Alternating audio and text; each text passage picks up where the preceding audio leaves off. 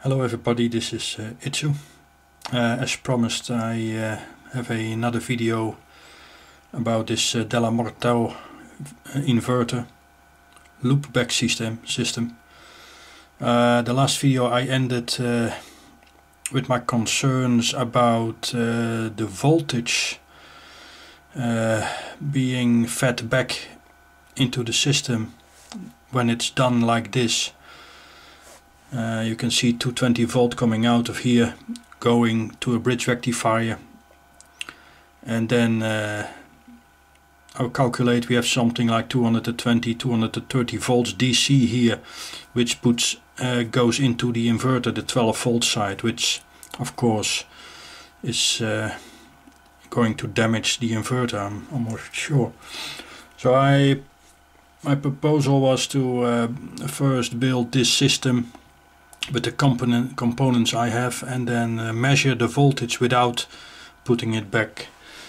And I came up with this system.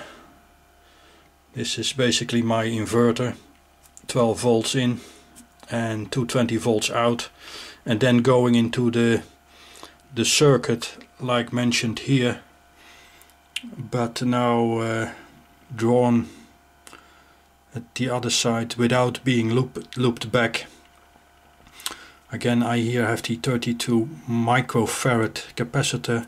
I have the 12 volt 25 21 watt bulb in my case. I have here the full bridge rectifier. I have here a L1 uh, choke 3.3 Henrys. That's the closest I could get instead of the uh, 600 or the 0.6 Henry, Henry but uh, I don't think it's that important.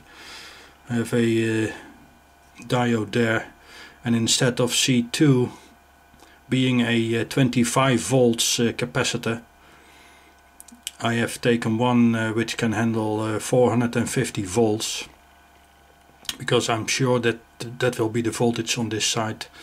And then I have the multimeter hooked up uh, to measure this voltage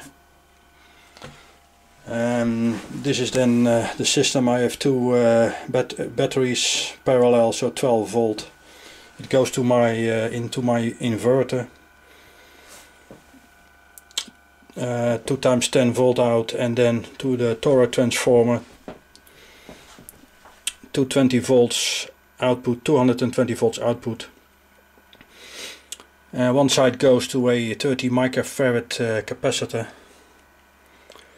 the other side goes to the uh, 12 volt 21 uh, watt bulb. Uh, this goes into the AC side of the full bridge rectifier and then the plus goes uh, to this uh, side of the transformer which has a 3.3 Henry uh, inductance and then back via the 1N4007 diode to this capacitor 320 microfarad 450 volts DC. So this is basically the the system I had uh, made here which is a, a derivative of uh, this one. And I have hooked my uh, multimeter across the plus and the minus of the uh, I just had uh, a test run and it's still uh, at 221 volt and uh, going down. So you can see we have a very high voltage on the uh, cap there. So uh, let me uh, connect now the 12 volt to the system. And you can see that the voltage, the DC voltage across this cap is raising to 260 volt. And there's no way I can put this uh, back into the uh, 12 volt side of my inverter without damaging it I'm, I'm sure so.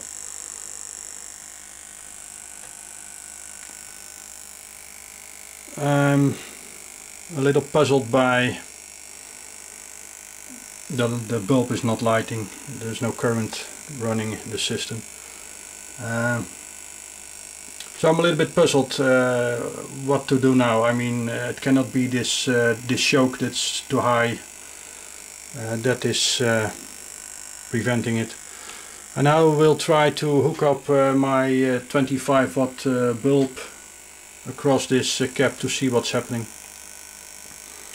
and take it from there. Okay, there we are back again. I have hooked now my 25 watt 230 volts bulb across the plus and the minus of uh, this cap. And uh, the multimeter reads now zero because it's drained. I will now connect the 12 volts. And you can see that the voltage is uh, going to 109 volt and the bulb is a little bit lit. So we have we have real current and we have real voltage uh, running in the system now. And it still presents 108 volt uh, DC on the cap. So my question now uh, is uh,